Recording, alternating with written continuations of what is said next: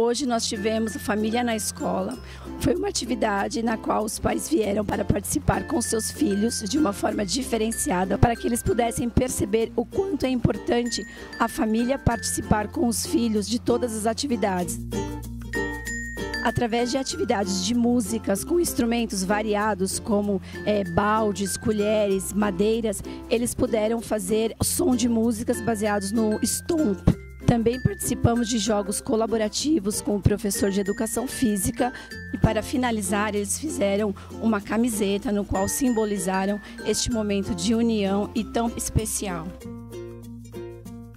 Foi uma manhã incrível de integração, de união com as outras famílias, de estar junto com meu filho, de estar aqui no colégio. Eu estou muito contente de estar aqui, muito contente de participar dessa família que é a família São Luís.